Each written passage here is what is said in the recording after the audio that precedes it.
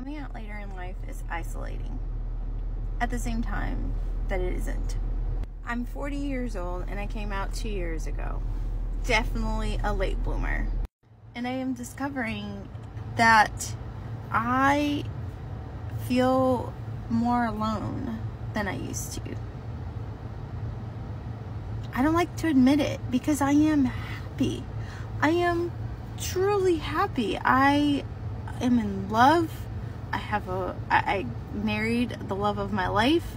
I know who I am. I, there are so many aspects of m- my journey and my personality that I am so happy with.